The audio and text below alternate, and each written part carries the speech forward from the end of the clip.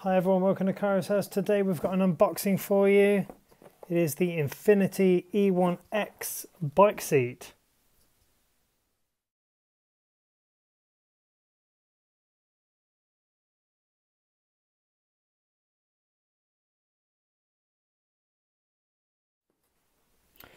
Okay, let's get straight into it. I've been waiting 55 days for this Infinity bike seat to turn up. It comes from America, possibly due to COVID, possibly due to the fact that when it says this way up, there's no address on it. It's actually hidden underneath.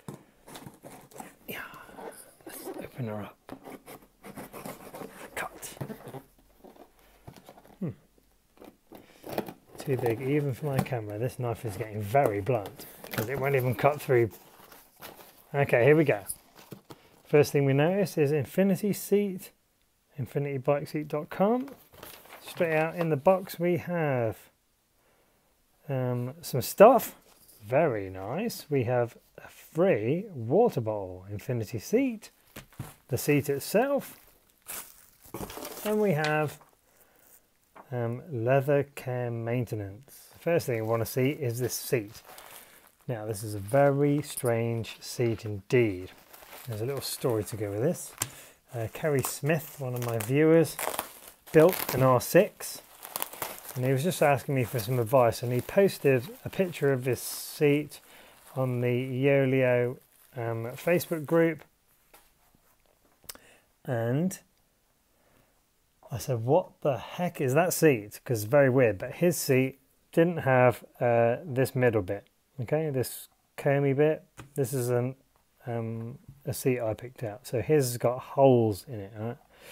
And basically, your sit bones go in the holes on his seat.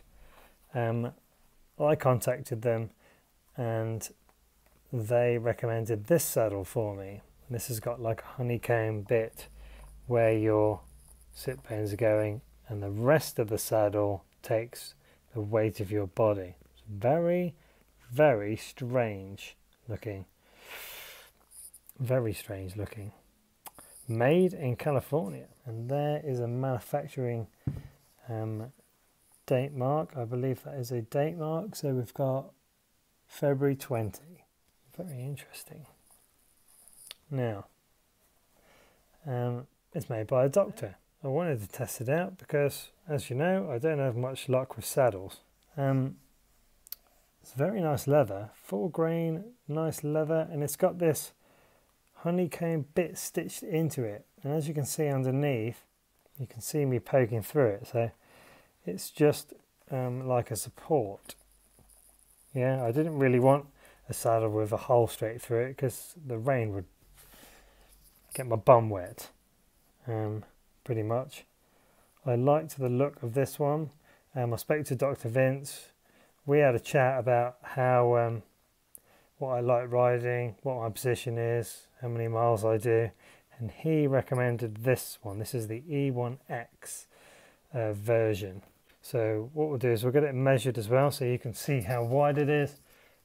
Okay, so let's get it weighed. The E1X weighs in at 286 grams. That feels really nice. It's very thin, I've noticed. Very, very thin. So I've got my tape measure, just under 17 wide and long. Okay, nose to, uh, let's go nose to outside, 27. 27 or about 24 to the middle bit of the cutout. Um, I've never seen a seat like it in my life. Um, you can have different colours here, you can have different colour leather now, you can have different colour rails. Um, but if you put the rails flat, it's very weird. It's kind of like a V. Look. So uh, I'm looking forward to putting that on. That's actually really well made. I'm actually impressed a little bit uh, it's a little bit bunched up in, in that corner but uh, apart from that it's really good it's embossed over here handmade nice haven't had a handmade saddle before. It feels like it, it gives, you know, because you most well the way it's supposed to be on around around it, not not where your sit bones are. Let's very quickly go through the setup because this is quite important. So, um, leg angle should not exceed 150 degrees. No thick padded shorts. They don't always work well with our design. So we've got some uh, how to set it up here. Okay, so I will have a look at that. Right, there's a returns policy. That's where it's going. Dr. Vince is the guy who makes them. So we've got leather care maintenance, it's handcrafted. Uh, use some leather conditioner. Okay. Welcome back. That last bit of the video was corrupt, so I couldn't actually use it. So I'm just filming this uh, end part a few weeks later. It's on the bike. I'm testing it, and there'll be a video soon go here to infinitybikeseat.com if you want to have a look around their saddles or their seats, however you want to call it. You'll notice the red background has gone. That's because uh, I think someone's taken it to the beach. Thanks for watching this uh, little review of the E1X and thanks for your support. Thanks for everyone who's watching, who's um, given me things to answer in the comments. Much appreciated. Look out for the ride review video and we'll see you on the next Kyros House. Take care, bye!